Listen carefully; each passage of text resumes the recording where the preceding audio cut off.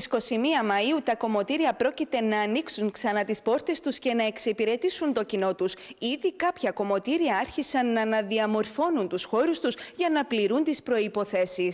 Θα αφαιρέσουμε ένα μεγάλο σημείο του κομμωτηρίου για να ανοίξει ο χώρος και να μειώσουμε τις θέσεις μας και αποκτήσουν απόσταση οι καθρέφτες μας έτσι ώστε ο ένας ο πελάτης να μένει πολλά κοντά στον άλλον τον πελάτη για να μην υπάρχει άμεση επαφή. Τα πάντα αλλάζουν και τίποτα δεν θα θυμίζει τον τρόπο με τον οποίο λειτουργούσαν τα κομμωτήρια μέχρι πρότινο με τους επαγγελματίες του είδους να προμηθεύονται ήδη τα απαραίτητα. Μάσκες προστασίας τις ίδιες που χρησιμοποιούσαν οι γιατροί σε full face μάσκες για τον πελάτη μιας χρήσης, οι οποίε είναι αναγκασμένοι οι πελάτες να τις φορούν στην είσοδο, η χρήση γαντιών και αποστηρωτικών και γενικά τα ραντεβού πιο, πιο αραιωμένα. Ένιγμα αποτελεί το εάν θα χρησιμοποιούνται ή όχι σε σουάρ. Ακόμη και οι πετσέτες θα είναι μίας χρήσης. Εκτός που το συνεχόμενο καθάρισμα των λουτήρων στα σημεία που να έχει επαφή ο πελάτης, υπάρχουν οι πετσέτες μιας χρήσης, όπως το είδαμε, και ο κάθε πελάτης να χρησιμοποιεί μία ή δύο πετσέτες και μετά να πετάσουν τις πετσέτες. Το παραπονό της καταθέτει η Ομοσπονδία Κομωτών, η οποία θεώρησε ότι τα κομμωτήρια θα έπρεπε να επαναλειτουργούσαν στην πρώτη φάση. Υπάρχει μεγάλη διαμαρτυρία από τους αδέρφους που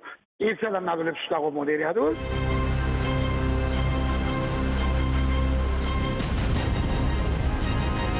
Υπηρεσίες εστίασης σε εξωτερικούς χώρους θα μπορούν να παρέχουν τα εστιατόρια επίσης από τις 21 Μαου. Οι επιχειρήσεις εστίασης θα επαναλειτουργήσουν με βάση αυστηρά πρωτόκολλα τα οποία θα καθορίζουν με ακρίβεια τον αριθμό πελατών ανά τετραγωνικά μέτρα, μεταξύ τους αποστάσεις και άλλα μέτρα προστασίας. Από τις 9 Ιουνίου τα εστιατόρια θα μπορούν να λειτουργήσουν κανονικά σερβίροντας και σε εσωτερικούς χώρους. Τότε θα λειτουργήσουν και τα εστιατόρια στα μόλ.